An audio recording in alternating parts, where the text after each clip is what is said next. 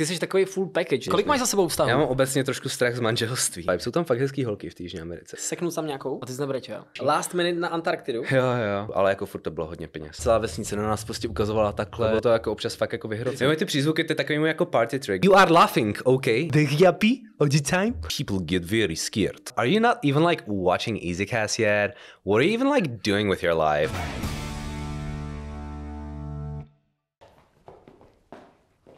Já tančím, protože se těším a mám radost, že můžu poděkovat našemu partnerovi, kterým je Velo, nikotinové sáčky. A děkuji taky vám, že tenhle ten díl dokoukáte. A jestli ne, tak se ho stejně nevezme.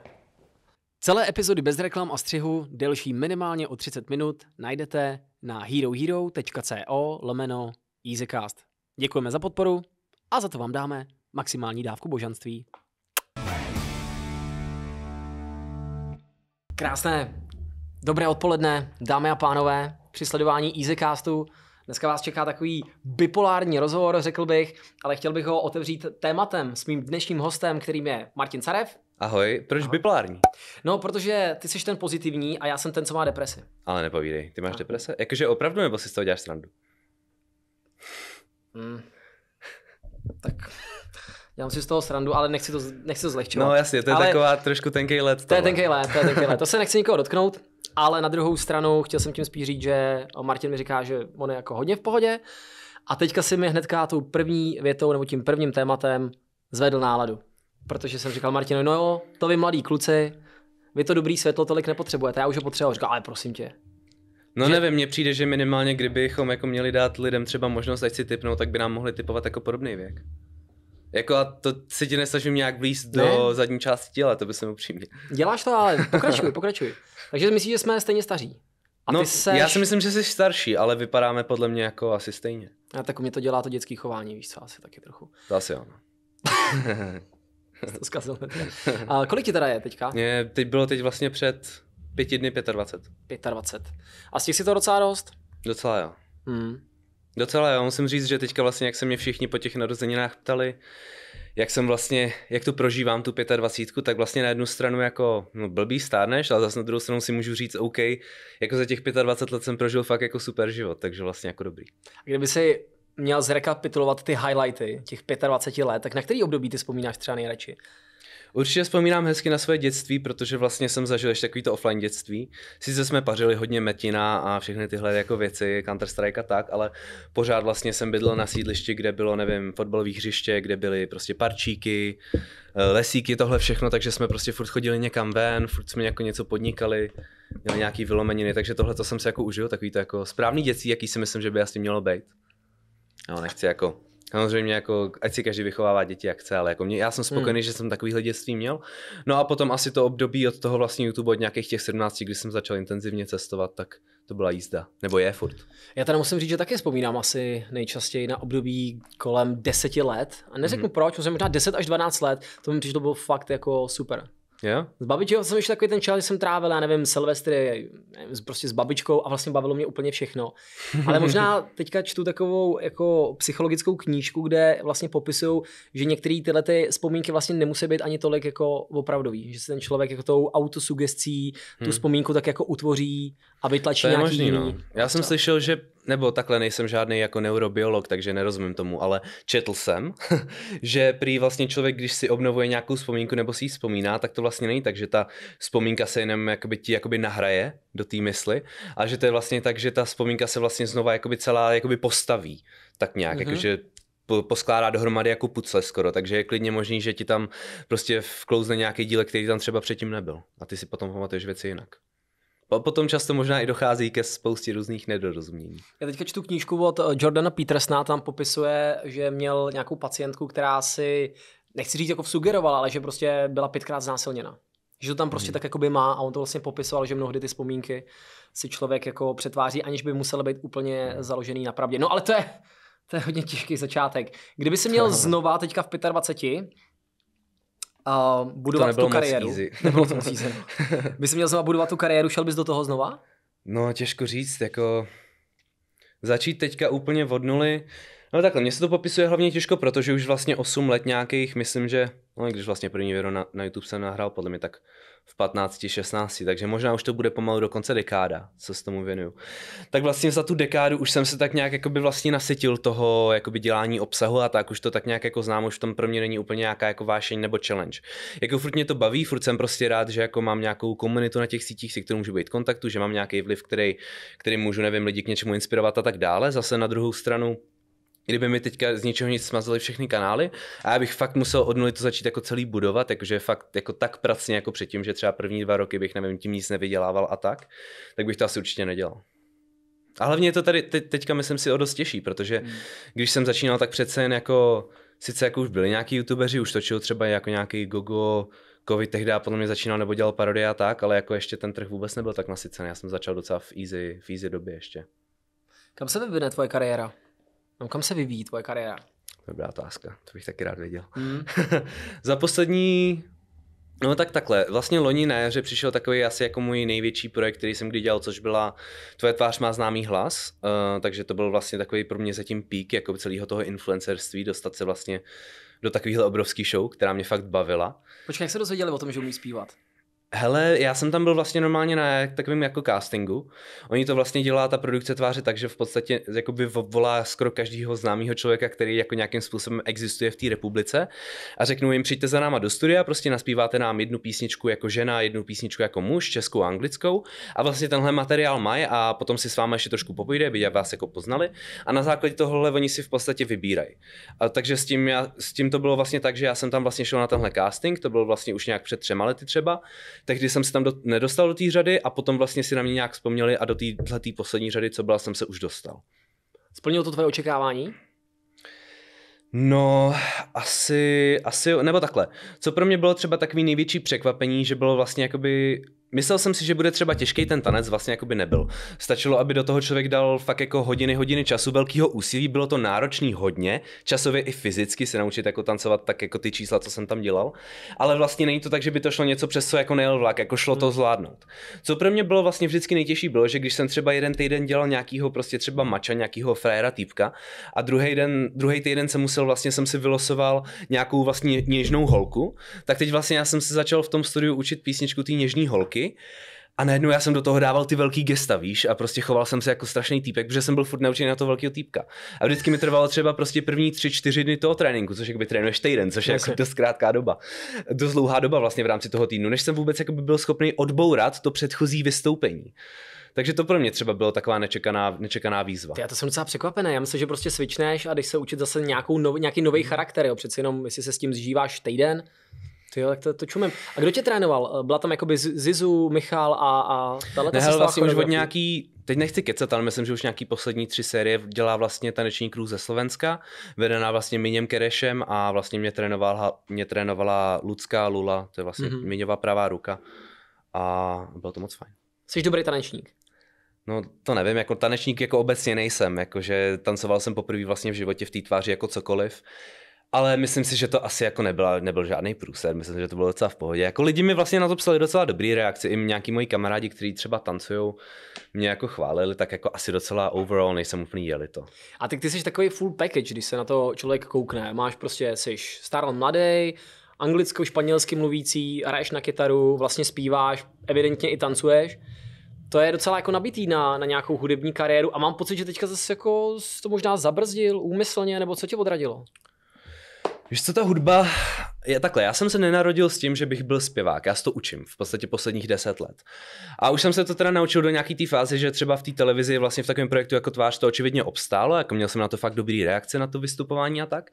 Každopádně zase máš vlastně jednu věc, naspívat po někom nějaký cover, a naspívat jakoby ty jako nějakou vlastní originální věc. To jsou dvě fakt jako dost rozdílné věci. Protože když zpíváš cover, tak ty v podstatě jenom kopíruješ nějakého člověka, který už do té hudby a do toho textu hmm. dal nějakou tu emoci, už to prostě nějak jako prodal, vymyslel a ty to vlastně jenom kopíš, což je docela easy. Udělat něco vlastního originálního je docela jakoby jiná, jiný příběh.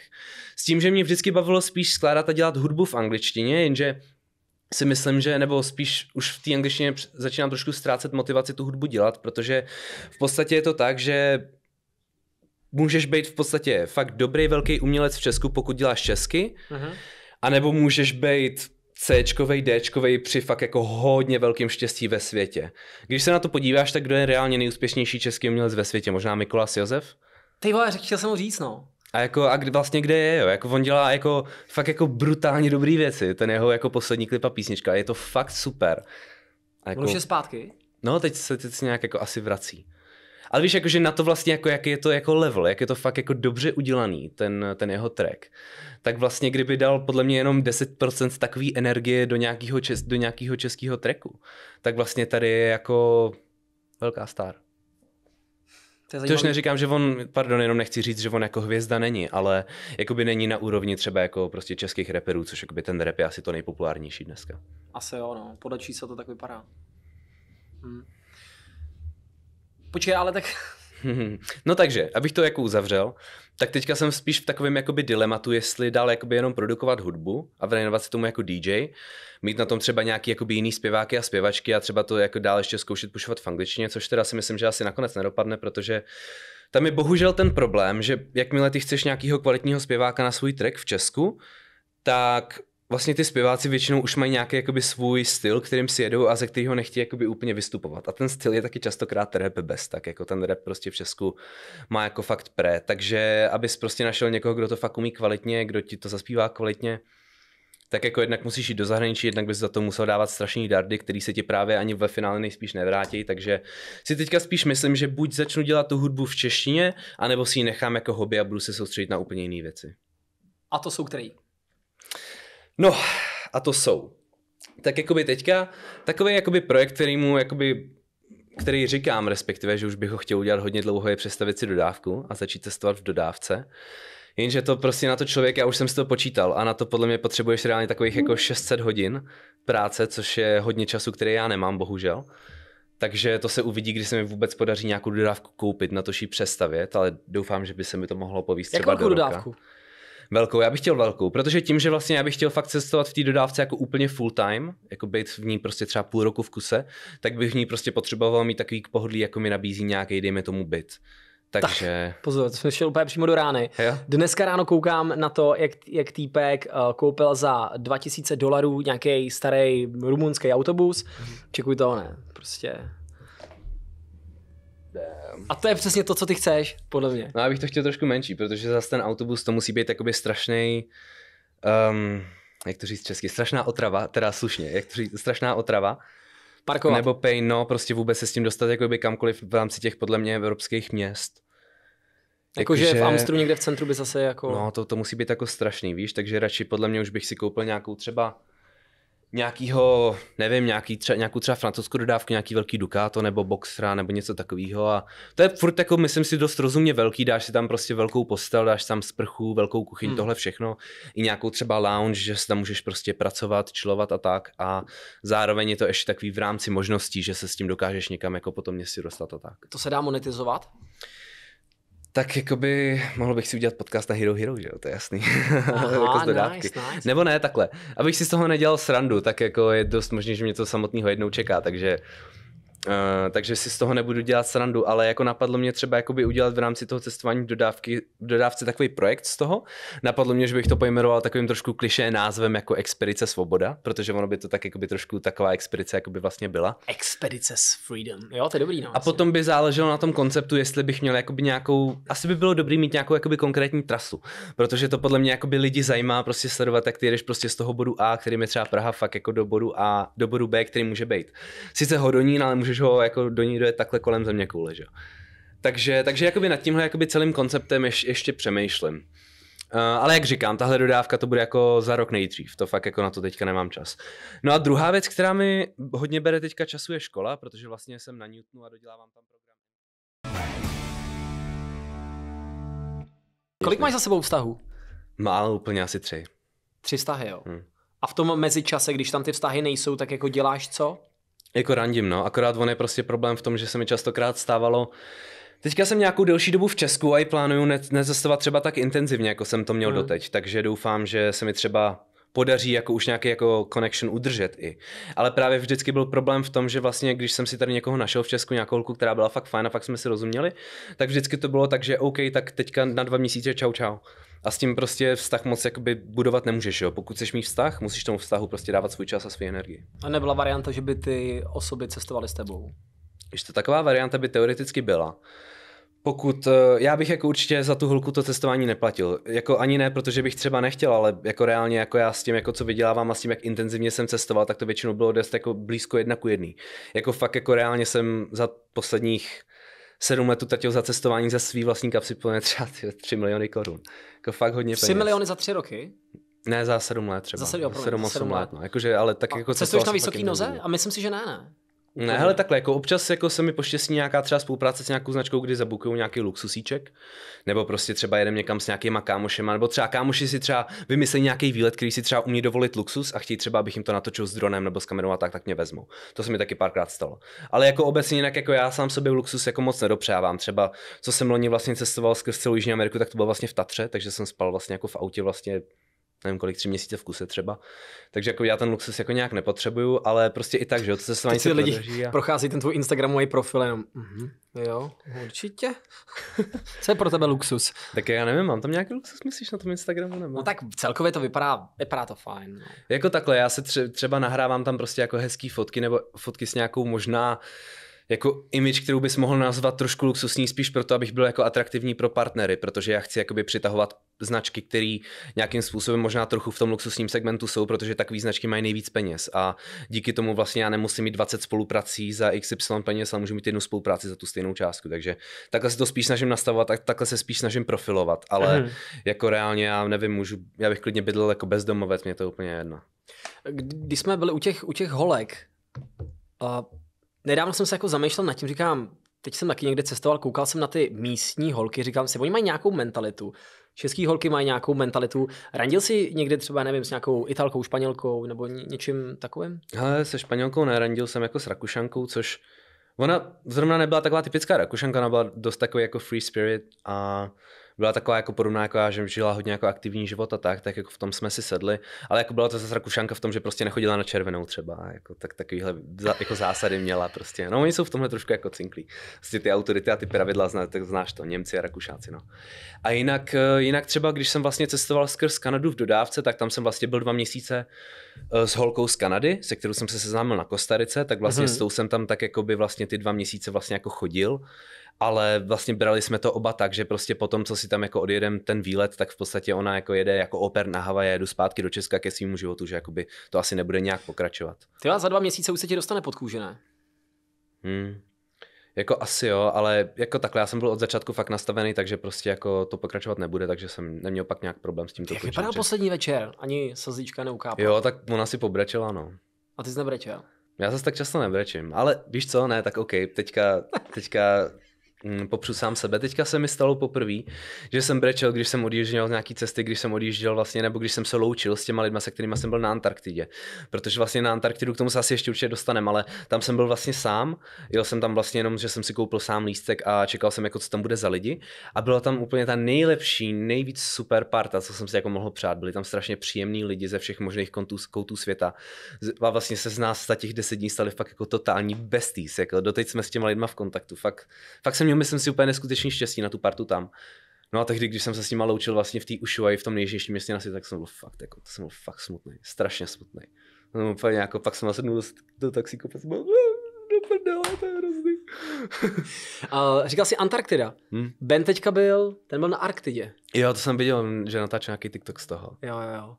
To je, jak, jak, jak moc dobrá lokalita to je. Je to už taková, taková, taková zbytková lokalita, už jsem, už jsem viděl celý svět, tak teďka chci vidět ještě Antarktidu. A nebo je to destinace, kam by si lidi odkázal třeba i, nevím. Tak pro mě to bylo hlavní motivace v tom, že to byl poslední kontinent, na kterým jsem ještě nebyl, proto jsem se tam chtěl hlavně podívat a jak mimochodem Arktida, Antarktida, že to je jasný, anti, an, anti-Arktida, ale jeden týpek na Antarktidě mi říkal, že Arktida pochází nějak snad od nějakého souhvězdí, teď nevím, jestli je to ta medvědice, nebo prostě od nějakého souhvězdí, podle kterého vždycky vlastně se ty námořníci byli schopni Mhm. dostat jakoby na sever k té Arktidě a to je vlastně v lati- latině to souhvězdí, no, anyway. Uh, každopádně, chtěl jsem se teda na tu Antarktidu podívat z toho důvodu, že to byl vlastně ten poslední kontinent, na kterém jsem ještě nebyl. A už jsem vlastně, a vlastně takovou vlastně bránou pro tu Antarktidu je to město Ushuaia, nebo jak říkají místní teda Ushuaia, odkud vlastně vyráží v podstatě drtivá většina všech těch expedic, těch, všech těch lodí. A já jsem v té Ushuaii vlastně byl s, touhletou, s tou Tatrou kolem světa už loni vlastně v květnu, jenže v květnu tam je vlastně zima, že jo, to je, tam je to naopak, takže to, to se tam jako nikam nejezdilo.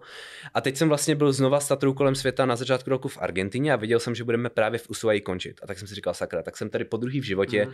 Bůh ví, kdy se fakt podívám znova, jestli Bůh ví něk, vůbec někdy do toho nejjižnějšího města na světě, tak už bych to fakt měl asi nějak vymyslet. Jako tak jsem si prostě našel tu nějakou společnost, řešil jsem to, kupoval jsem to asi týden dopředu jako last minute úplně, aby to bylo co nejlevnější. Last minute na Antarktidu? Jo, jo. Muselo to tak být, protože ty jako, normálně ta plavba stojí třeba 200 pade. Já nebudu říkat, kolik jsem za to platil, ale jako... Kolik jsi to za to bylo... platil? Jak jsem říkal, nebudu říkat, kolik jsem za to platil, ale jako bylo to, bylo to pořád jako hodně peněz. Jako jo, počkej, promiň, a tak jestli to byl last minute, tak to bylo dražší než 200 pade? Ne, levnější, levnější, levnější. Proto jsem to kupoval jako last minute, protože právě jsem doufal, že to bude levnější cena. Jako byla, byla drasticky levnější ta cena takhle jako týden dopředu, ale jako furt to bylo hodně peněz. No a tak jsem to koupil, vyrazil jsem tam a mind rovná se blown, byl jsem úplně jako učarovaný, bylo to neskutečný. Co nejvíc, co byl, co byl highlight, kromě těch skvělých lidí? Ty lidi udělali fakt hodně, no, ale jako obecně ta příroda, protože pokud ty vlastně cestuješ v rámci těch klasických šesti kontinentů vlastně kamkoliv, tak vždycky se tam nejspíš dostaneš po nějaký silnici, tam je nejspíš nějaká benzínka, nějaký hotel, nějaká restaurace, nějaká civilizace. Na té Antarktidě tohle prostě vůbec není. Je tam je to fakt jako asi nejblíž tomu, kdybys cestoval na nějakou jinou planetu, podle mě, jako co můžeš zažít v rámci téhletý naší planety. Máš tam prostě jenom tučňáky, máš tam velryby, máš tam lachtany, ty tam prostě chillujou, vůbec je nezajímáš, to je prostě jejich území. A sem tam jednou za 100 kilometrů vidíš třeba nějakou boudu, že tam jsou nějaký vědci. A to je tak všechno jako asi. To zní skvěle. Já doufám, že nešišlám, já mám totiž rovnátka, ještě se s nima zžívám, tak snad moc nešišlám. Martin dneska tak zubaři, já to si taky ještě řeknu. A to je fakt je to tak super, není to jenom o tom, že je tam, je tam zima, je to tam bílý. Zima tam ani taková nebyla, my jsme třeba byli občas na palubě, no jako ve svetru, občas jsme byli v šortkách no na palubě, jako tam bylo vlastně relativně teplo, když vysvětlo sluníčko. Hmm. Když jsem se pak koupal, tak to bylo jako trošku studenější na no, to moře, ale jinak to bylo docela v pohodě. Ale ne, a fakt nemusel jako... si skoupit, ty jsi tam měl úplně na poslední chvíli, nemusel si skoupit, já nevím, nový zateplený hadry a tak? Ale to oni ti všechno dají, naštěstí, ty jako ta společnost. V ceně o, jízdy, jako kdyby. Jo, jo, vlastně dostal si jako přímo jako dárek jsem dostal takovou vlastně žlutou párku, obrovskou bundu, krásnou jako teplou, fakt jako kvalitně udělanou. Tu jsem si mohl nechat.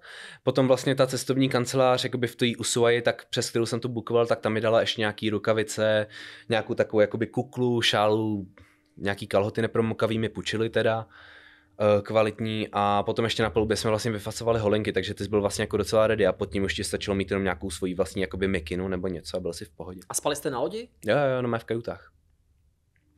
Já jsem spal vlastně, já jsem kupoval úplně tu nejlevnější jako jízdenku, co šla. Spal jsem vlastně v kajutě ještě s dvouma dalšíma týpkama. Jeden byl vlastně, jmenoval se Lowell, to byl vlastně týpek ze San Martinu, který mu bylo 20 a už to byl jeho poslední kontinent, což bylo docela hustý. A potom tam byl ještě jeden týpek z Řecka, který se jmenoval Thanos, takže samozřejmě všichni si z něj dělali jako srandu, že je z Avengers. A ten už byl starší, tomu byl podle mě třeba 35 a docela jsme se jako spolu vyšli. A taky sami? Jo, taky byli, tam bylo 90% solo cestovatelů. A taky bylo vtipný, že já jsem si myslel, jako když vlastně na tu loď jdu, že to je můj poslední kontinent, že jsem jako celkem frajer. A pak se tam jako ptali na té palubě, tak co, či je to poslední kontinent? A celá loď prostě jako zvedla ruku. Takže tam všichni byli jako. Ale tak ono to Antarktidu většinou asi dáš jako prostě až ten poslední. No. Jo, jo, co je nejlepší na cestování? Já jsem tím možná trochu navedu a někde se mi hrozně líbila definice, že to je skvělý lék proti rasismu. No, ty jo nevím, já se nepovažuji moc za rasistu, s tímhle jsem asi nikdy jako neměl problém to begin with, jakože nebo takhle, pokud se tím jakoby v tom, v té frázi, co říkáš, myslí možná třeba proti nějakému strachu jakoby z cizích národností, z lidí, co neznáš, tak na to je to určitě super lék, protože třeba když jsem před asi kolika, 6-7 lety letěl do Iránu, letěli jsme tam vlastně s Kovim, s klukama z Prahy, s Honzíkem a s Jankem, s Honzou Tunou a ještě s Richardem vlastně tehdy ze streamu, tak jsme tam vlastně letěli s tím, že přesně jako ka- nějaký člen v rodině nám při nejmenším každému z nás řekl aspoň jednou, jako že tak jako se měj hezky, jako rádi jsme tě poznali prostě, a, jako určitě tam zabijou, zastřelej. Mě máma, myslím, řekla něco, jako že mě může taky zabít tady doma, že nemusím jezdit do Iránu nebo tak. Takže tohle to bylo jakoby očekávání všeho našeho okolí a my jsme tam pak přesně přiletěli a vlastně všichni byli neskutečně jako skvělý, příjemný, úžasný. Dokonce, když jsme vlastně přiletěli, my jsme letěli přes Kiev a v tom Kijevu si vlastně z toho streamu, koupil vlastně flašku vodky, kterou stihnul během toho letu vlastně z Kieva do Iránu vypít. Borec. To... Takže potom byl, nebo takhle, nevím, jestli vypil celou, to bych možná přeháněl, ale jako už byl takový veselý prostě. A když jsme potom vlastně přistáli a byli jsme v takovém tom autobusu, který tě veze vlastně od gateu na letiště, tak on tam říkal takový dost jako No já ti to potom řeknu, až jako vypnem kamery. Já to tady nemůžu říkat, protože podle mě jako by na mě někdo spáchal atentát typu Charlie Hebdo, jo? protože on říkal fakt jako strašné věci. Jako fakt rasistické věci, jo? Nebo... No jako prostě proti jako islámu, říkal fakt jako hrozný věci. A jako takový, že my jsme fakt jako reálně počítali s tím, že jak dojedeme na ten gate, tak nás tam podle mě zabásnou prostě popravě, nevím co. Fakt jako strašný věci. Říkal vám to teda česky, takže asi... Možná jenom přemýšlím, nevypípnete to jméno, jak, jak jsem říkal, jako kdo to říkal. Jo. Ano, abys tak... toho neměl nějak průser. Tohle je krásný moment, kdy můžeme říct, že některé peprnosti prostě dáme na Hero Hero, takže jestli chcete, tak tam mrkněte. Je to bez střihu, mluvíme tam prostě a, a, a tak. Pokračuj. No jenom, aby on z toho, ale mu je to asi úplně jedno, on je takový totální flegmatik, ale ale tak, no, tak prostě tam říkal jako takovýhle jako věci prostě nadranej. Nebo víš, spíš jako, aby potom mu jako nějak muslimská komunita to nějak nevyčítala, víš, nebo tak, jako bych nechtěl. Tak možná lepší, kdybyste ho jako vypípli, vystřihli to jeho jméno. Anyway, no ale tak jako naštěstí nakonec se, se nic nestalo, vlastně všem to bylo jako úplně ukradený, že jsme to vlastně jako, že se tam něco takového stalo a potom celá naše vlastně zkušenost v tom, v tom Iránu byla taková, že nás neustále někdo zdravil, neustále nějak někdo zval prostě k sobě domů, nebo na šíšu, nebo na čaj. Všichni byli strašně přívětiví, když jsme si neviděli s něčím rady, všichni hnedka, co jste ztracený, potřebujete s něčím pomoct, jako, takže taková byla naše zkušenost. A domluví se tam? Anglicky jak s kým, no, ale jako takhle, ono vlastně předtím, než tam vlastně přišel že jo, k moci Ajatolách, než tam vlastně došlo k té revoluci, nevím, jaký to byl rok 79, tak vlastně ten Irán byla poměrně jako moderní vyspělá země s takovými vlastně jako západníma sklonama. I proto tam podle mě teďka jako, nebo bylo minimálně hodně jako protestů vůči tomu režimu a tak, protože oni podle mě jako byli zvyklí spíš jako na ten ne tak konzervativní prostě jakoby styl života. To vlastně, co tam teďka je pro ně, asi jakoby není prostě nějaký standard, se kterým jakoby jsou jako OK. A to nám tam dokonce i ty lidi vlastně jako říkali přímo. Byť tím asi docela riskovali, kdybych jako, že by je někdo naprášil nebo tak, tak s toho budu mít velký problém, tak nám vysloveně tohle jako říkali. No. Tak tohle je pozitivní zkušenost s cestováním, ale stoprocentně za mhm. ty všechny tripy musel se někdy i zapotit. Kdy? Hele, nejvíc jsem se určitě zapotil v Etiopii a nebylo to jenom ze sluníčka, bylo to i z toho, že tam to bylo fakt jako náročné, co se místních týče, protože ty místní prostě neustále od nás jako žebrali. Vlastně první večer, kdy jsme se tam snažili spát vlastně na divoko v jedné vesnici, tak tam po nás začali házet čutry. Potom v další vesnici jsme třeba zastavili a všichni na nás, celá vesnice na nás prostě ukazovala takhle. Začali nám prostě rvát třeba ledničku z auta, věci z auta, prostě jako takhle. Bylo to jako občas fakt jako vyhrocený tam, no. Kdyby to takhle bylo sem tam, kdyby to bylo jednou za dvě noci, za tři noci, cokoliv, tak jako OK, asi se z toho nějak jako dostanu. Ale pamatuju si, že jsem byl po těch třech týdnech tam fakt jako úplně totálně psychicky vyždímaný, protože to bylo prostě furt, naprosto neustále, bez přestání. Člověk se ani nemohl v klidu najíst, protože vlastně ty tam někde zastavíš, prostě za nějakýma, nevím, sutinama, kde prostě fakt nikdo není, kde jsi úplně schovaný od cesty, nikdo ti tam nemůže najít. Ale projde si tam jeden místňák s kozou, vezme telefon, zavolá tam celou vesnici a najednou se na tebe kouká prostě 50 lidí, jak jíš. A nekoukaj se tak, že by jako stáli 10 metrů od tebe, oni stojí prostě tady. Prostě ty takhle jíš a on stojí ten člověk tady. Takže jako tohle to bylo fakt jako hodně náročné v té Etiopii. No já si myslím, No takhle, když tohle to jsem, já mám vlastně z té Etiopie vlog a všechny tyhle ty dojmy jsem tam i přenášel a nějaký lidi mi psali, že vlastně jakoby jsem tam prostě v jejich zemi, takže bych si prostě na tohle neměl stěžovat. Uh, já to na jednu stranu chápu, prostě přišel jsem tam jako prostě pro ně samozřejmě velmi bohatý západák, který tam prostě si, ale jako takhle, my jsme tam nejedli nějaký jako neskutečný jídlo, jo? my jsme si většinou dali to, co jsme tam pokoupili jako v obchodech, nějakou zeleninu, rajčata jsme mm. si nakrájeli, dělali jsme si nějaký salát, jo? Ne, nejedli jsme prostě nějaký stejky nebo buchví co, jako úplně takový basic jídla jsme tam vždycky jedli, kempovací jídla. Ale já si prostě uh, jako stojím si za tím, že jako ta situace prostě by takhle jako podle mě být neměla. Nemyslím si, že by to tak mělo být, že ty tam jako přijedeš a prostě takhle ty lidi do určitý míry vlastně jako by, by měli mít právo se chovat jenom proto, že ty jsi jako rozhodl tam jet. Já jsem totiž zažil vlastně třeba loni teda tu Jižní Ameriku a tam jsem třeba v Bolívii viděl vlastně jakoby lidi nebo vesnice, kteří žili opravdu ve velmi, velmi srovnatelných podmínkách jako v té Africe.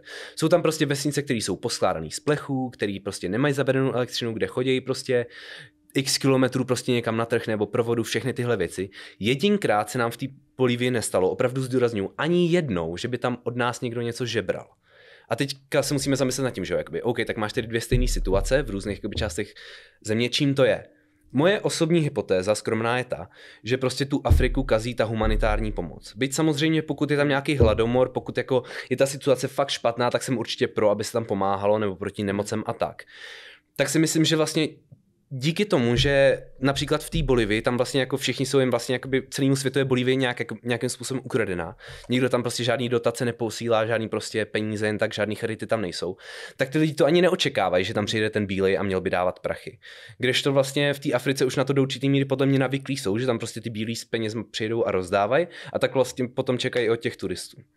Takže tím neříkám jako skončit tu humanitární pomoc, to rozhodně takový radikální statement bych tady jakoby nechtěl, aby z toho vzešel, ale spíš prostě třeba najít nějakou rovnováhu, nebo třeba ty lidi, my jsme jim třeba nedávali peníze, ale třeba dětskám jsme dávali pastelky. Jo, nebo jsme jim prostě třeba, když za náma přišel někdo, že má zraněnou ruku, tak jsme mu tu ruku vydezinfikovali a obvázali a nedávali jsme mu prostě takhle čum, tady máš 10 dolarů. Což možná spousta jakoby, lidí dělá, což je taky chyba. No. Jsem úplně připomněl historku, jsme byli v Tajsku a ne, vlastně v Kambodži jsme byli, já myslím, že to byla Kambodža.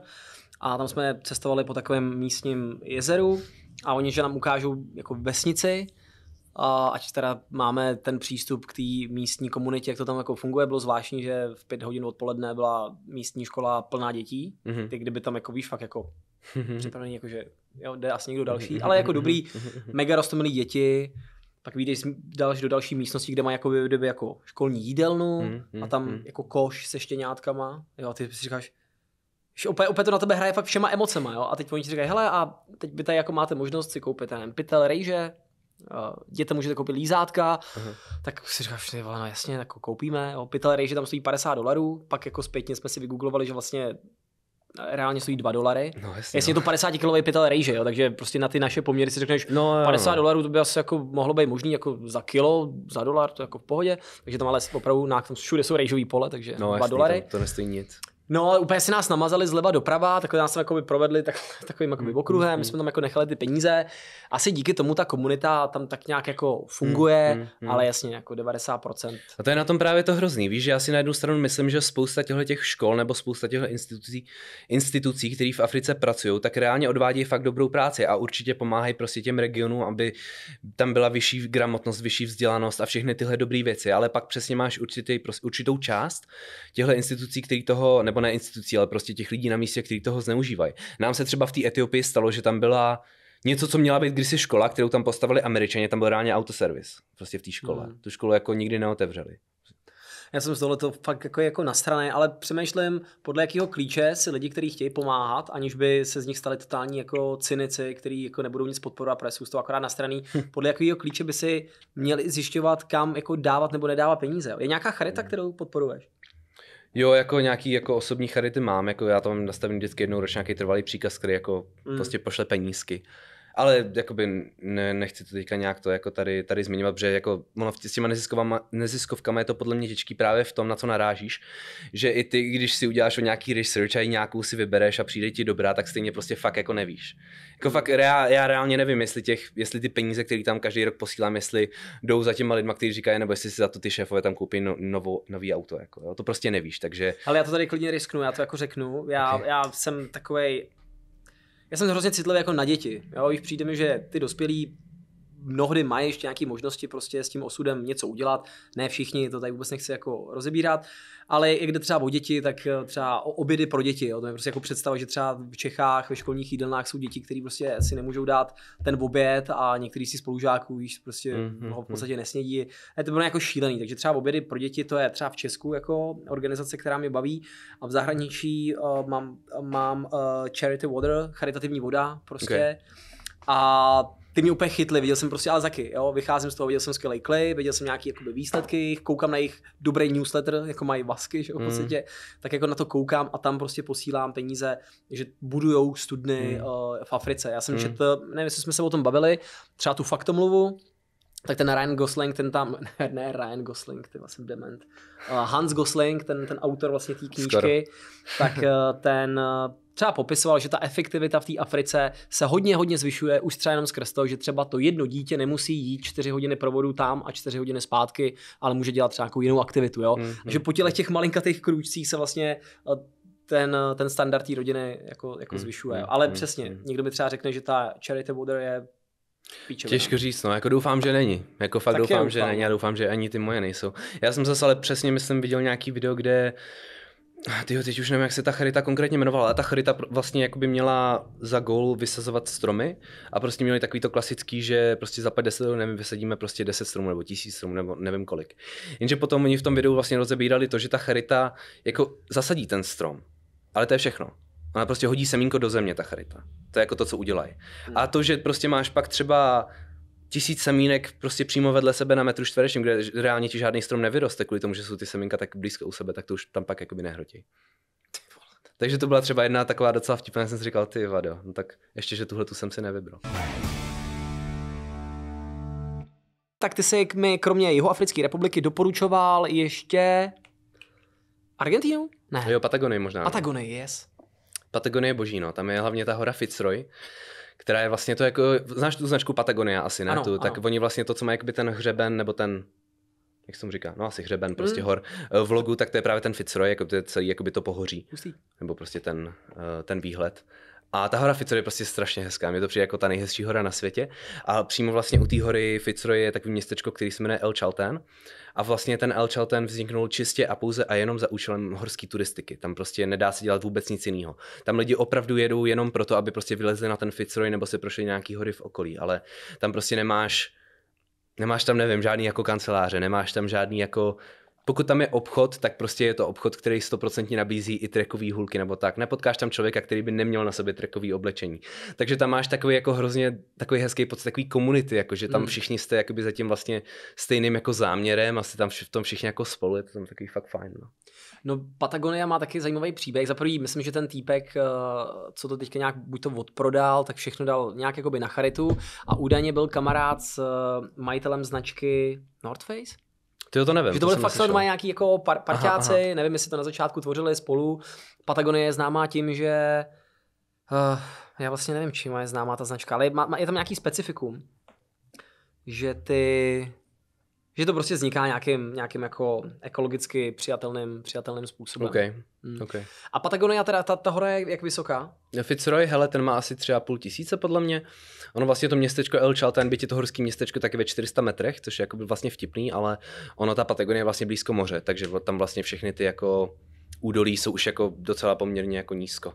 A ten Fitzroy má těch tři a půl, ale jakoby vlastně úplně nahoru na ten Fitzroy, tak to musíš být jako profesionální horolezec, takže ty vy- vylezeš spíš třeba jako tam někam dolů k nějaký laguně, se kterým máš výhled na ten Fitzroy. A líbilo se ti tam proč? Ale prostě nevím, prostě mě to něčím očarovalo to místo. Je, nebo takhle, jednak taky já jsem viděl vlastně na Netflixu dokument Alpinista, který je vlastně o takovém mladém klukovi z Kanady, který se už teda bohužel zabil při tom horolezení. Ona se jich většina bohužel zabije těchto těch alpinistů.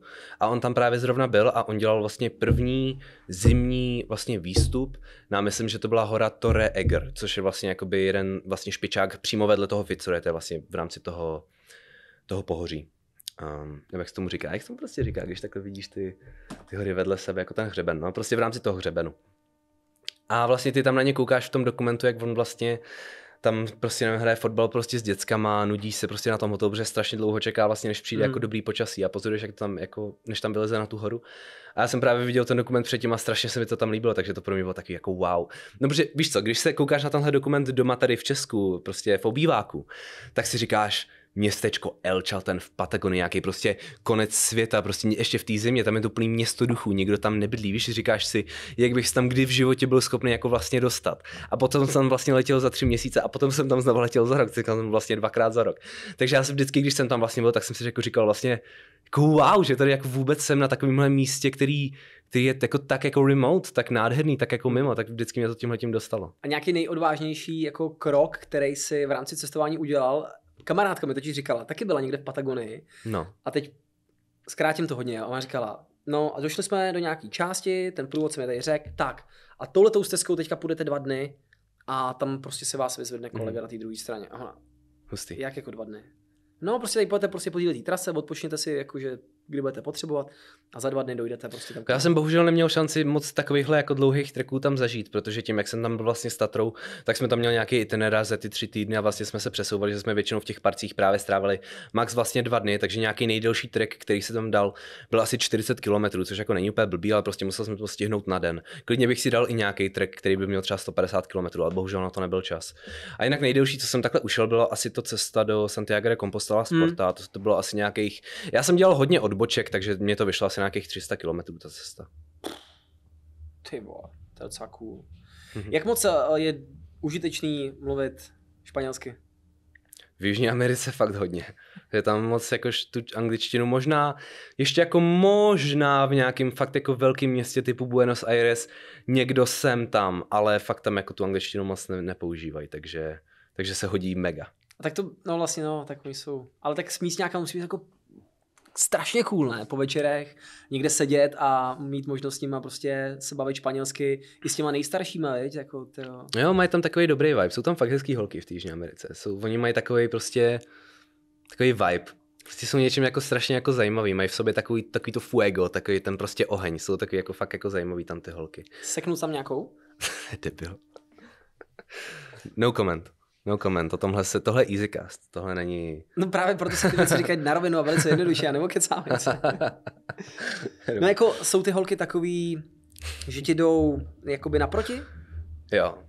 Tak hlavně ono, když jsi blondětý, tak tam těch blondětých kluků moc není, což teda teďka nevím, jestli jsem, jako po té zimě nikdy za stolik blondětý nejsem, potřebuji to sluníčko, aby mě trošku jo, prosvětlilo, ale obecně, když jsi jako světlejší, máš třeba světlý oči, tak jako je to tam docela snadný. Hmm. Jedlo jsi tam byl.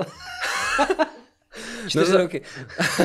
za loňský rok jsem tam strávil podle mě asi nějaký tři měsíce, ale to asi měsíc. Kamarád mi, já nemůžu říct, já jsem v Jižní Ameriku vlastně nebyl, jsem asi byl jenom v Mexiku, no. Ale víš, říkají, že i v té Brazílii, že jsou ty lidi takový hrozně jakoby, uh, v, jako v kontaktu, že se furt jako ošahávají a hladí. To tam je hodně, no. A tohle to všechno. Já jsem takový jako lásky plný typ, abych to byl asi yeah. jako rozhozený, víš, že bych tam chodil a furt mi tam jako někdo prostě hladil a, a to, že tohle to je, to v té Patagonii najdeš taky, jo? No ono záleží určitě jak země od země, no třeba Čilani, ty jsou hodně takový jako německý. Čilani jsou takový jako prostě všechno pravidla musí být prostě a častokrát nás tam peskovali za nějaký úplný třeba nesmysl v těch národních parcích nebo třeba i na trajektu, prostě úplně prázdný trajekt a to už bylo rok 2022 léto, jo, tam prostě už covid jako pase v podstatě.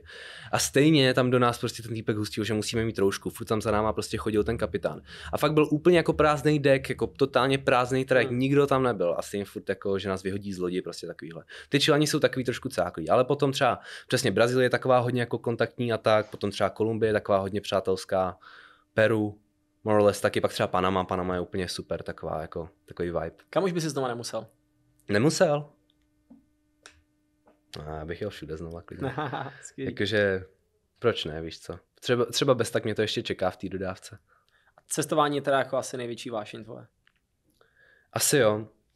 Je to vlastně tak, že já i vlastně ten důvod, proč jsem si ten život snažil tímhle tím způsobem, jak ho mám teď nastavený, snažil nastavit už od mala, je ten, že už jsem si podle mě v nějakých třeba sedmi letech, jako prostě když jsem poprvé pochopil nějaký koncept práce a dovolený a prostě jak to vlastně funguje, tak už tehdy mi vlastně přišlo takový jako hrozně zvláštní, jako by chápal jsem to, ale přišlo mi hrozně vlastně jako blbý, že highlight pro většinu lidí z roku je pět týdnů a 11 měsíců je vlastně jakoby job.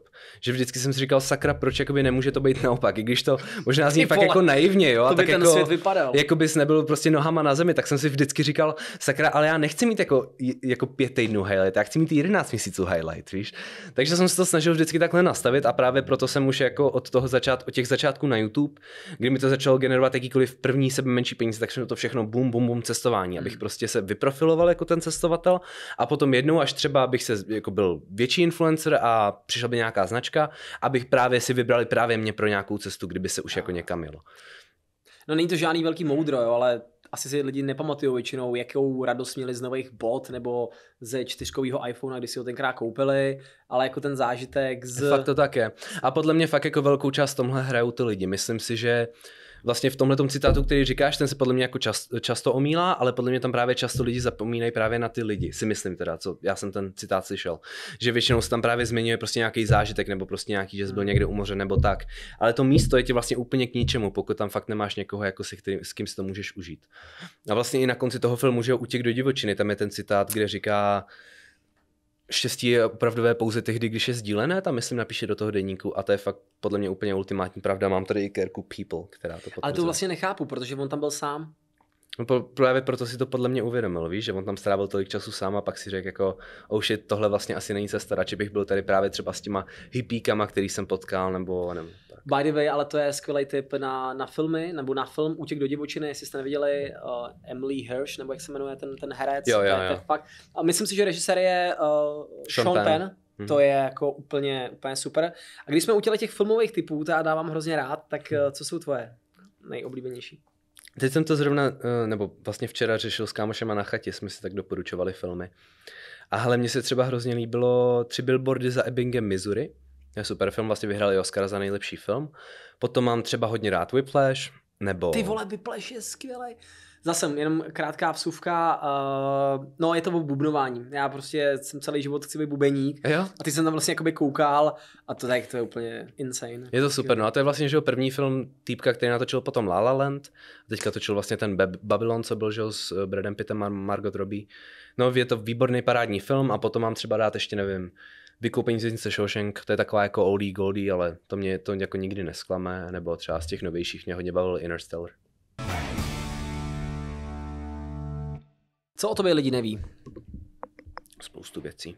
Něco, co bys nám tady mohl prásknout a nikdy si to nikde neřekl. Nevím. Takový očistný proces. Asi ne, jako pokud o mě myslím si něco jako veřejnost neví, tak to je asi proto, jako že, že nemám potřebu to nějak sdělovat. Jako nemám žádného jako velkého kostlivce ve skříni, nemám nějaký jako obrovský odhalení, jako že mám někde, nevím, rodinu nebo děti, nebo prostě něco jako úplně wild, nebo že jsem vrah. Jako Ale co ty takovýho. víš té Patagonii, že třeba to není nějaká prostě holka, která má blondětý dítě. Ne, ne, to jsem si jistý, že nemám. To jsem si fakt jistý. Jaká holka, by the way, whatever. Ne, vůbec nevím, o čem to mluvíš. A ten čas taky nesouhlasí, o kterým už ani to místo. Jo, jo, jo. Anyway, ne, ne, ne, ale jakože, takže já vlastně jako ani nic takového jako velkého, co bych na sebe jako práskal, jako v podstatě nemám.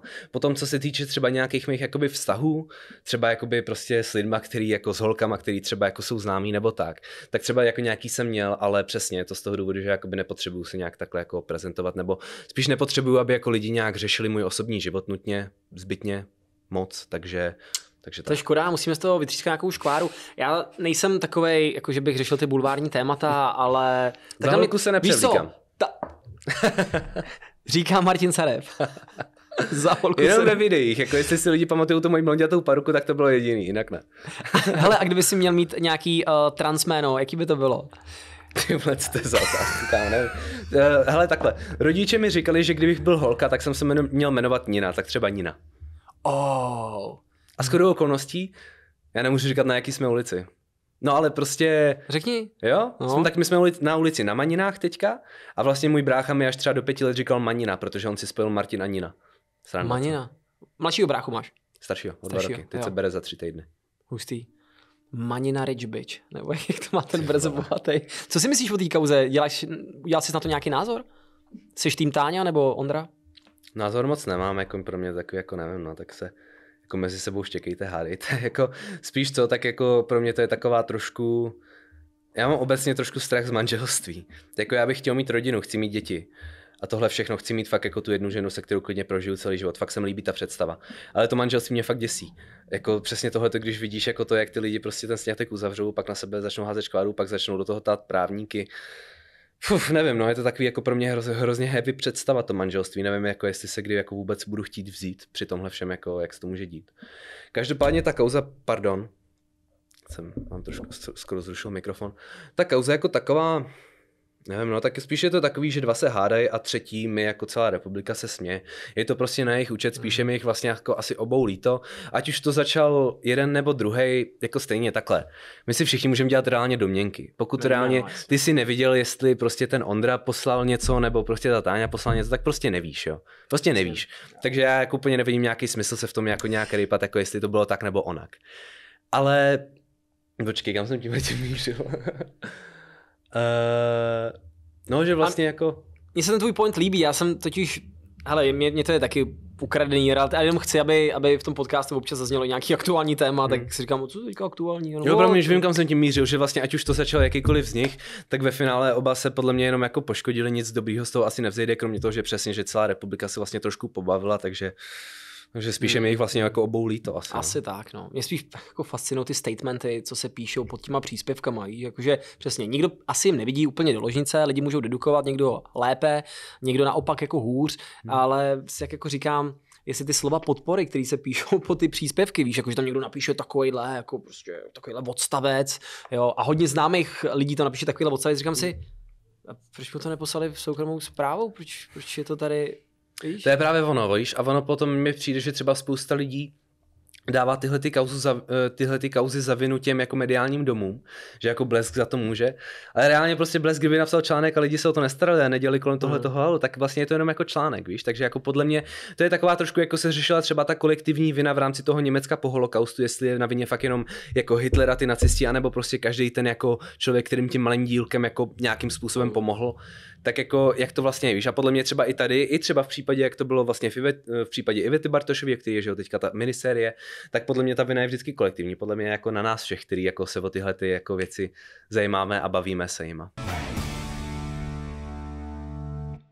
Hele, my jsme tady nezmínili jedno super téma. Ty jsi tady totiž na začátku říkal, že takový ten projekt bude nějaký ten karavan, rekonstrukce a cestování a bude to mít nějaký explore jako přesah a zároveň by to mohlo být i nějaký, nějaká forma podcastu. No a ty jsi člověk, který na naše poměry prostě absolvoval rozhovor třeba s Davidem Beckhamem a kámo, na pána. tak uh, zprostředkuj nám trošku tu emoci, emoci s tím. Ne, a taky hlavně, jestli by se na to nedalo navázat, protože někdo, kdo dokáže výst prostě kvalitní rozhovory v angličtině, já to tady na té na české půdě výjima, nevím, Marka Ebena, to tady prostě mm, nedělá. Mm, mm, mm. No hele, jako bylo to, byl to zážitek, no ale já jsem k tomu vlastně přišel jako úplně jako slepý k houslím, protože já jsem vlastně seděl na jídle v restauraci a mi přišel e-mail pojď jako do Londýna na rozhovor s Beckhamem, jo, to bylo jako celá story. Takže já jsem napsal jako hnedka OK jedu a to bylo vlastně jako by celý, jo, jak, jak jsem, já jsem k tomu přišel. No a potom vlastně, eh, to bylo vlastně během víkendu, v pátek jsem přiletěl, ubytoval jsem se v sobotu, byl vlastně rozhovor, v neděli jsem zase letěl. A vlastně v sobotu tam vlastně ráno jsem tam byl já, ještě asi nějakých, nevím, šest prostě novinářů prostě z Evropy, kteří vlastně z toho dělali prostě mediální výstupy do těch jakoby svých zemí. Ten vlastně výstup mediální pro Česko byl teda jakoby ode mě. A prostě přišel tam ten pan Beckham, prostě si posadil, byl jako ke všem milý, jako pozdravil se a to. A pak vlastně se, jsme se začali všichni střídat jakoby v těch rozhovorech. Já jsem vlastně měl rozhovor společně s jednou novinářkou Syrska, která tam vlastně se mnou seděla na tom videu. A vlastně měli jsme předem jakoby otázky, které jsem předem posílal, jakoby hmm. samozřejmě tomu jeho týmu, protože nemohl jsem se ptát jen tak jako na co chci. Sakra. Bohužel. A vlastně ty otázky mi předem jako schválili, odsouhlasili a potom jsem mu je vlastně jako položil a to byl vlastně zážitek. Jako. Ale byl mega v klidu. Ale on má standardní hlas, ne docela? Trošku, no. Jako trošku má takový jako vysok, vysok vyšší polo, Nebudu se snažit vymyslet tenhle ten eh, pří, No jo, má, má, takovou fistulku, mi přijde. Jo, má takový trošku jako maňáskovský hlas, no. Jako. to je jako, že tak jako takhle, jako. Yeah, yeah, that's true. Yeah. No, no, I didn't do that. No. tak trošku. ty jsi to krásně vyslovil, jak jsi řekl to Beckham. Beckham. Uh, ty, jakou máš angličtinu? Máš jako takovou tu britskou, nebo kde se, kde ses učil, jak se učil? Oh, well, you know, I'm from London. That's from from. Ne, dělám si prdel. Uh, mluvím asi tak jako americkým přízvukem s, trošku, s troškou českého přízvuku bych asi řekl. Um, Obecně, když se bavím jako s native speakers, tak mi jako všichni vždycky velmi, velmi tu angličtinu chválili. Ať už teďka jsem byl třeba v Norsku, byla tam nějaká typka z North Caroliny, tak se mě hned ptal, jako, jestli jsem jako žil jako malý v Americe nebo tak. Jako, čím se nechci chvástat, jenom jako prostě tyhle ty reakce mám. Každopádně jako zase mi přijde, že v Česku tady je taková jako trošku toxic atmosféra, co se té anglič, angličtiny týče. Ty vole, v komentářích dostaneš na prdel, ty jsi tam řekl tolik cizích slov. Ale já vlastně nechápu proč, víš, protože tady mi přijde takový pravidlo, že jako ty, jakmile začneš mluvit anglicky, tak buď máš právo mluvit anglicky, pokud mluvíš naprosto kompletně perfektním americkým přízvukem, který v Česku stejně nikdo nemá. I ty lidi, co se nejvíc dělají, tak ho stejně nemají. A nebo bys jako neměl mluvit, což mi přijde jako totální nesmysl. Většinou těm lidem v Americe naopak se líbí, když máš nějaký přízvuk, tam jako naopak já jsem přízvuk český dělal na schvál, protože to tam prostě přišlo lidem cool. Jak se dělá český přízvuk, prosím tě? Because you start talking like this. No, eh, každopádně, tak vlastně, když jsem potom switchnul do toho, toho jakoby českého akcentu, tak ta holka na mě najednou Oh my god, where are you from? Like, literally sounds so interesting. Úplně za mě začala takhle jako... Já nenávidím tenhle ten Jo, je to americký humus. akcent. Je to humus, no. Ale takhle, takhle mi to doslova řekla, no úplně. Oh my god, like, you're talking like so cool. takhle nějak mluvila. Ty vole, kdybych věděl, že můžeš takhle skvěle parodovat lidi, tak s tím začnem. A, a To já moc neumím, já umím jako tohle, pak umím nějaký přízvuky ještě, ještě, bys, ještě to lusknutí tam dej k tomu. pak Zemana, tyhle ty jako lidi a to je tak všechno. Ty budeš parodovat Zemana? Trošku. Tak dej. Pojď, už máme závěr. Tak eh, podívejte se. Já nevím, eh, proč bych vám tady měl něco parodovat.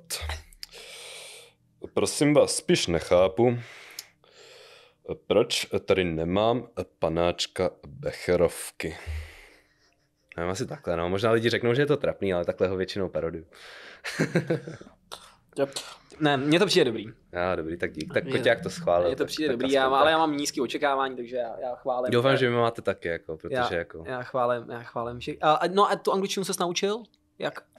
Hele, na střední vlastně u nás byl výměný student z Oregonu, se kterým jsem rok v kuse mluvil, to mi hodně pomohlo, potom klasika seriály, filmy, potom mám už asi 6 let fakt dobrýho kamaráda v Česku Henryho, který je vlastně Brit Američan, se kterým mluvím vlastně jako denně, a potom samozřejmě to cestování, no. Takže Hmm. tak. A potom tři měsíce jsem bydlel v tom LA. Ale to LA musím říct, že mi spíš ten přízvuk jako zkazilo tím právě jako LA stylem, že předtím bych tam přijel a řekl bych jako, že wow, this coffee is really good. A teďka řeknu, nebo tenkrát, když jsem se vrátil, oh my god, like literally this coffee's lit as fuck, bro. Like, give me some more, dude. Jakože bych mohl víš, jako takhle jako plný dement. Jako. Doufám, že už jsem to ze sebe setřás. Ježíš, to je skvělý. Včera jsem koukal na Dobré ráno Větname. Nevím, jestli znáš. Mm-mm. Robin Williams, jedna z ikonických jeho rolí, Mhm. on přijede dělat hlasatele do Saigonu. A, Aha. a do té doby eh, v, tom, v těch 60. letech, kdy byla prostě válka ve Větnamu, tak byly takový jako hodně uniformní a teď tam jako hlásili, co se Mm, bude mm, dít a mm, mm. kde se co ztratilo a bla, bla, bla, bla, bla. A teďka přijel on a říká vždycky good morning, Vietnam! A takhle to tam prostě do nich valil a chtěl tam zbalit nějakou, nějakou Větnamku, takže, která byla na hodinách angličtiny a on tam přišel a učil je, jak se mluví v New Yorku. Mm-hmm. Jo, a teď to byly How prostě you doing? To se říká v New Yorku, to říká Joey, že? skvělý, skvělý, skvělý, skvělý. Jo, ty přízvuky, to je takový můj jako party trick. Vždycky, když chci jako, jako tak vyvím si do konverzace, udělat něco vtipného, tak začnu dělat nějaký přízvuky a... Kolik jich umíš? Přízvuku? No, Hele, trošku mi jde francouzský, trošku ruský umím docela dobře, si myslím. ta, no prosím ukázku jenom takovou. Okay, but usually when I start talking with the Russian accent, the people get very scared and uh, they think I will launch nuclear weapons. So I don't want to scare your audience. A francouzský zas This accent is very simple. You just have to close your mouth and then you try talking kind of like you're happy, very happy all the time. tak to je španělský zas. Teda francouzský. To francouzský. No a španělský, ten by, ten by, ten by mohl být ještě úplně ideální. A francouzský, španělský, to já nevím, jak oni jako... Ale je asi stý, jo. Jakože oni prostě, oni, oni vyslovují věci strašně podobně jako Češi. Víš ty slova, takže ono by to nejspíš znělo, jako bych mluvil prostě jako češ, česky. To by asi úplně nevyznělo. Na ten si netroufám. Já byl teďka v Itálii a hrozně mě zajímalo, oni tam hodně používají sl- Alora, Alora, Allora. Alora, Alora. A tak hrozně hezky vysloní a koukal jsem i na White Lotus, že vlastně druhá série se starou a to byla z Itálie a furt Alora a tak celou říkám si, ty tak co to je Alora? No a zjistil jsme, že Alora je vlastně uh, jakoby. Jakoby, aha. to je něco jako, že takový to uh, filler, filler word, že taky prostě so No, well, jasný, víš, jasný. Ale tak zrovna taková- italština, víš, to stačí udělat tohle italský. Mamma mia, pizzeria. A já hotovo. A mluvíš italsky. Takže anglicky, španělsky a plánuješ nějaký další jazyk? Ale trošku umím německy, naučil jsem se 6 let na škole, ale jako rozumím dost, ale ne, neposkládal bych asi úplně větu. A hlavně všichni Němci mluví perfektně anglicky, takže je to takový trošku jako zbytečný jazyk. A trošku jsem začal s tou francouzštinou na té Trošku jsem začal s tou francouzštinou na té Antarktidě, protože tam bylo hodně lidí z Francie, tak jsem se naučil nějaký výrazy jsem tam, ale to si teprve musím najít jako učitelku. Ale mám to v plánu se asi naučit francouzsky, to je to docela hezký jazyk. Potřebujeme od tebe nějaké poslání, uh, vyznání na závěr tohohle z toho podcastu. Poslání na musíš závěr těm, musíš těm podcastu. lidem předat. Hele, jako já si myslím, že Moudro. jestli něco z toho, co jsme tady dneska řešili, by mi přišlo důležitý, tak zrovna jakoby v rámci třeba té kauzy právě, co je v těch médiích, já si fakt myslím, že No takhle, ono je to asi pro lidi zábava prostě řešit a tak, ale fakt si myslím, že lidi častokrát jako vlastně strašně omezeným množstvím informací dělají hrozně moc závěru. Víš, jakože, fakt, jak jsem to říkal, že vlastně pokud jako si tam nestál u toho, když člověk něco do té redakce toho blesku poslal, tak to fakt jako reálně nevíš, tak stejně tak prostě vlastně jakoby nevíš nic. Jo, pokud by teďka prostě Ondra řekl o Táně něco, nebo Táně by řekla o Ondrovi, prostě jak ty víš, že to je pravda, jak ty víš, že to není prostě totální bullshit, jak ty víš, že to nejsou ilumináti, kteří si z nás všech jenom prostě dělají totální prdel, víš. Já tak, ale já tenhle přístup mám už od Třeba když jsem byl na Gimplu, tak prostě za mnou přišla spolužečka a říkala mi, hej, prostě ono koluje, že prostě si spal s touhle holkou, ne? Touhle já jsem se třeba v životě nebavil. Ale spali jste spolu. Ne, ne, ne, ne, což debil. to, to je prostě, to je Jsi prostě škoda vole- slov. Jsi prostě blondiák. Ne, no. ale že vlastně jakoby třeba, a nevím, proč jsem jako, proč se o mě tyhle ty věci třeba na Gimplu kolovaly, ale vlastně díky tomuhle možná, protože už jsem byl influencer a nějak prostě lidi mě řešili. Ale vlastně jakoby už od téhle doby se, jsem si jako pochopil tenhle mindset a jako fakt to tak je. Fakt jako reálně cokoliv, co se píše v médiích, cokoliv, co někde slyšíš, co někdo něk, o někom řekne, reálně prostě nevíš. Takže jako podle mě by lidi to neměli tyhle věci tak hrotit. Takže jsem Víš, jako, trojku s Aničkou Šulcovou. Ale nepopírám ani nepotvrzuju. Ne, popírám, popírám. Rozhodně jsme neměli. S Aničkou jsme si v životě nedali ani pusu, takže jenom aby nevznikla nějaká fáma. Takže jako Ani, Tam jako- ani třeba Laluček nebo Líst. Nebo, ani, ani Laluček. Ani Laluček. Nebudu, nebudu radši nic, jako, Takže nebudu se ti tohle téma nelíbí? radši vůbec roz, ro- Takže se ti jako rozvíjet, nelíbí, jo?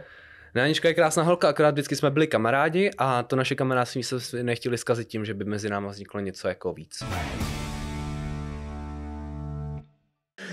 Tak jo, přátelé, uh, sledujte Martina, ale vy už asi sledujete. Já moc děkuji za rozhovor. Já moc děkuji, bylo to moc příjemný. Bylo to fajn, bylo to fajn a hrozně mě teda uh, takový moje přání směrem k tobě. Myslím si, že by si měl si, až budeš totálně zoufalej, si založit ten podcast a cestovatelský. A fakt si myslím, že, že by to mělo dobrý potenciál. Dělat se zajímavýma lidma v angličtině. Myslím si, že víš, ten přesah prostě konzumovat. Tak ono víš co, těch podcastů na tom Hero Hero je teďka v Česku strašně málo, takže Ne, ale víš co, ať jsou. Mně, mně to přijde, to je, to je takový téma, ať jsou. Někoho bude bavit prostě, vole, Je to tak, je to Kuba, tak, no. někoho bude prostě bavit eh, Martin, Já někoho... si myslím, že jich vznikne prostě přesně stovka a potom se to vykrystalizuje a lidi prostě zůstanou s tím, co je fakt baví. A... Přesně. Stejně vyhrajou ty, co to budou dělat dlouhodobě a budou Přesně. tomu dávat kvalitu, péči a, a ten no. čas. Nedávno se mě na to někdo ptal, čili určitě do toho jděte, pokud na to máte prostě chuť a, a sílu, ale je to o tom čase a prostě nevy, Jo, tak. A nebo třeba to. případně s tím cestováním s tou dodávkou, pak by to třeba nemusel být podcast, ale třeba bych na to Hero Hero dával, nevím, videa, jak jsem si třeba tu dodávku představil, zrovna bych tam dal třeba nějaký epizody jako toho kontentu a tak. Třeba to Jo? je taky možnost. Hele, spousta, spousta to. Hele, v 25 letech máš už porci, porci za sebou, tak snad uh, ti nedojde energie. Snad bude těch dalších třeba 10 let do těch 35 taky tak krásných. A cestovatelsky se chystáš kam teďka?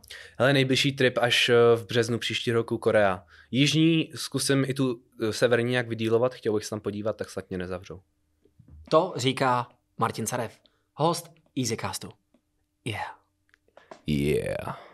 To byl krásný závěr. A nemohl bys říct uh, to, uh, americkou angličtinou sledujte Easycast? Are you not even like watching EasyCast yet? What are you even like doing with your life? Jihoafrická republika. Martin, když jsme se vlastně viděli na akci, tak jsem chtěl od něj v rychlosti, aby mi dal dva originální typy, kam vyrazit cestovatelsky, aby to nebylo takový, nechci říct kliše, ale aby to nebyla taková ta prvoplánová destinace, mm-hmm. jako, nevím, je Tajsko, Bali a tak podobně. A velice jsi mě překvapil a ty jsi řekl, hele, jeden, jedna z nich je Jihoafrická republika, proč? No, ale že mu lidi, lidi říkali, jako jsou tam teda jakoby no-go zóny? Hodně? Jo, rozhodně. Každopádně, jako jsou tam zóny, do kterých jako půjdeš, tak si podle mě fakt jako říkáš o to, aby tě okradl jako s strašnou spoustu místních, co jsem se tam bavil, tak každý druhý mi řekl, že ho prostě postřelili nebo stříleli na jejich auto, nebo prostě té společnosti, ve které my dva se zrovna pohybujeme, ten show business a tak, můžeme si podle mě na rovinu říct, že je to podle mě po, poměrně běžná droga. Jakože není to tak, že by to nutně každý druhý člověk, který ho člověk vidí jako v televizi nebo na internetu pravidelně bral, ale dost pravděpodobně to prostě z 90% lidí z téhle společnosti zkusilo. Pak jsme se šli i projít po městě a já jsem se jí na to právě ptal, jakože jestli prostě je to tak, jak si myslíme my jako Evropani, že tady prostě všude jde kokain, že to každý má prostě doma pytlíčky doma a tak. A ona říkala, že ne, vůbec, já jsem to třeba nikdy neměla. Hmm. Takže, nebo takhle, to si myslím, že ona byla možná spíš jako vzácná nebo kecala. Jako myslím si, že je to tam určitě jako běžný relativně. Dokázal bys nám třeba říct nějaký konkrétní příklad, kolik ty si třeba dokázal toho či onoho prodat uh, skrze social marketing? Hmm. To, to, to byla fakt jako trefa do černého. A to občas se to stane, víš, když zrovna vyjdou ti prostě nějaký boty typu bílý Air Force, který všichni chtějí, nemůže je třeba sehnat a teď tím dáš prostě možnost OK, který je najdete, jo, tak jo. jako potom jo, ale jako obecně ta konverze, myslím si, že jako jí mám jako... A kdo, kdo jsou teda pro tebe takový ty influenceri, co to obecně jako globálně dělají dobře, těch spoluprací mají třeba i víc. Kuba Angel a Fitness, tam je to úplně jasný, má brutální výtlak, to je vidět, vlastně říkal, že dělá snad jenom dvě spolupráce, že má jenom food shop a, a tohleto a že mu to jako vlastně stačí hmm. a zaměřuje se tady na to a myslím si, že to má výsledky. A obecně, kdo to, kdo to jako dělá dobře? Protože pak to tady jsou influenceri, kteří vlastně těch spoluprací dělají jako strašně moc. I believe I can fly, I believe I can, EasyCast. Sponzorem dnešního dílu EasyCastu jsou nikotinové sáčky Velo, které mám úplně náhodou v ruce.